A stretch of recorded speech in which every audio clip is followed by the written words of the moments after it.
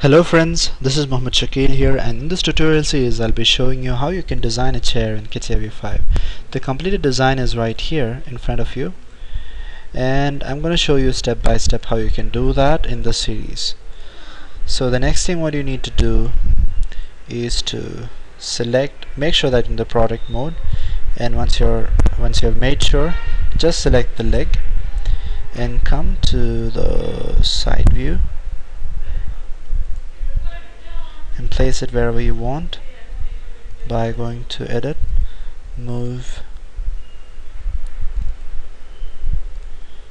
edit move manipulate. And with respect to the z-axis you can move it.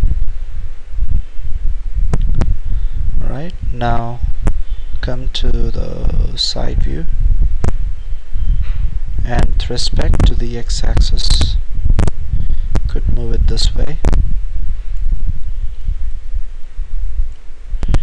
Again the y-axis.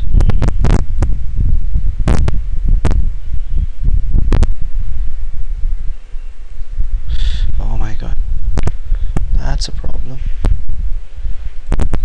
You could do that step once again. Just go for edit move manipulate and the x-axis. Move it this way. Come to this view. Come to the perspective view so that you can place it uh, better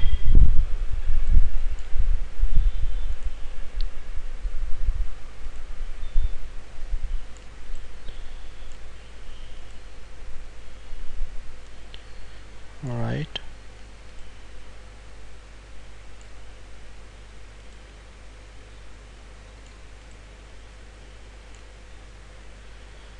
Y okay. This will be fine. Now what you can do is uh, again come to the side view and just use this as your reference take the side view for this one. As you can see there is a kind of uh, slant. You could do the same same thing here by selecting this and going for edit move manipulate. Uh, with respect to the y-axis you could rotate it a little bit and bring this a little down and again click on OK. Again come to this file. And from the side view you can see that once again has a kind of you can just uh, you know if you want you can constrain it so that when you move any other parts it doesn't move. So in this tutorial I really don't want to uh, concentrate more on the uh, assembly part because there is enough designing part in this. Okay let's just pull it out. Okay this part of the leg is almost properly placed. Now what you can do is just go for insert symmetry and just select the plane with respect to which you want to do the symmetry and select the leg.